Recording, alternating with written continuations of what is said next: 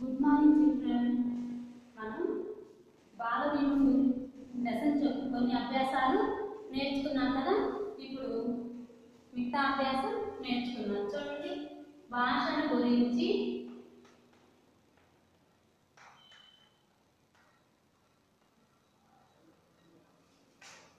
తెలుసుకుందాం.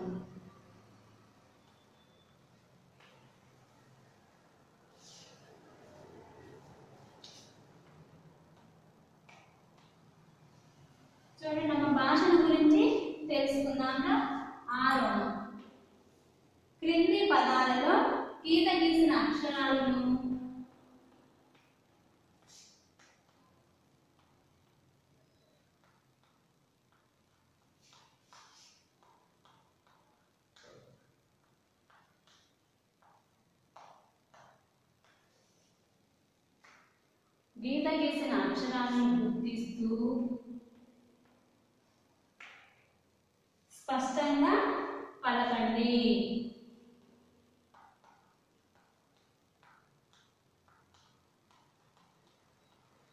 ఇక్కడ కొన్ని పదాలు ఉంటాయమ్మా ఆ పదాలలో ఒక అక్షరానికి గీత గీసింది అనమాట ఆ అక్షరానికి ఏ అక్షరానికైతే గీత గీసిందో ఆ అక్షరాన్ని గుర్తిస్తూ మనం స్పష్టంగా పలకాలన్నమాట చూడండి కా లం సెం కం గం ట గం గఢం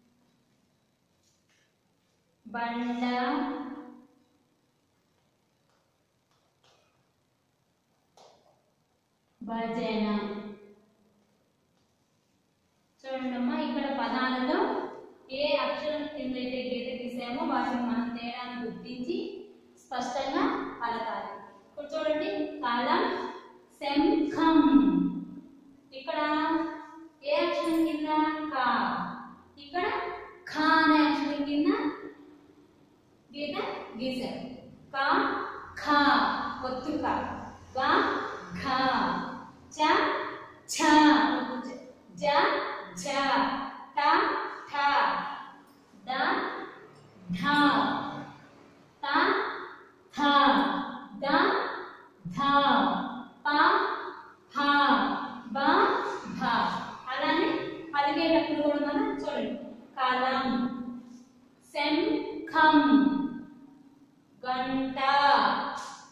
घटम चलम। पिंचम जलम। झषम कटलम कंठम। डमरु। धमखा। तब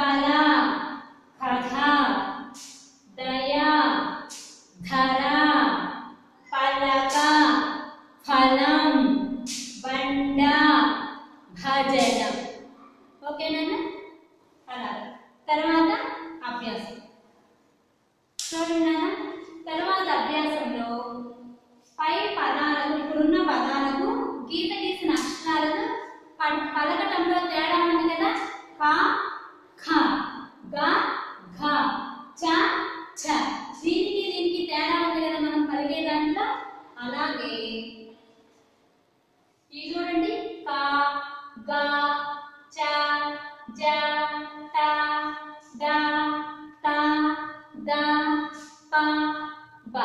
ఇవి ఎలా పలుకుతున్నాం? మనం అక్షరాలని తేలిగ్గా పలుకుతున్నాం. కాగా అలా తేలిగ్గా పలుకుతున్నాం. ఇలా తేలిగ్గా పలికే అక్షరాలు ఏమంటామంటే అల్ప ప్రాణాక్షరాలు అంటాం. కా గా చ జ ట డా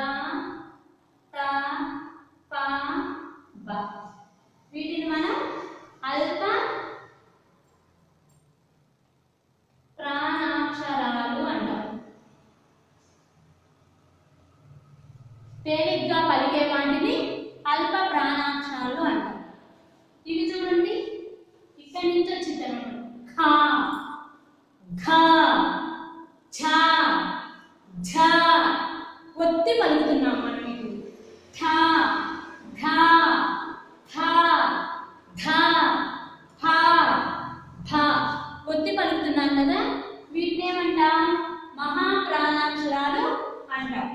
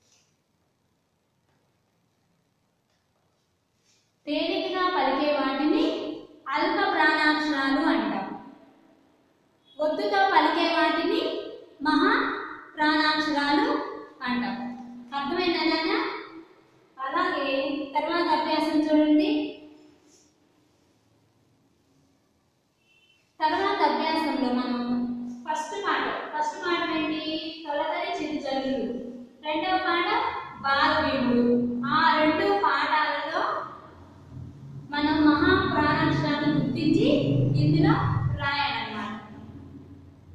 తొలకరి చిరుజల్లులు తర్వాత బాలవీరుడు ఈ పాఠంలో మహాప్రాణాక్షరాలను మనం గుర్తించి రాయాలి. మహాప్రాణాక్షరాలు అంటే ఏంటిది? ఒత్తుతో పలికే వాటిని మహాప్రాణాక్షరాలు అంటాం. గుర్తుపెట్టి పలికే వాటిని మహాప్రాణాక్షరాలు అంటాం. చూడండి భా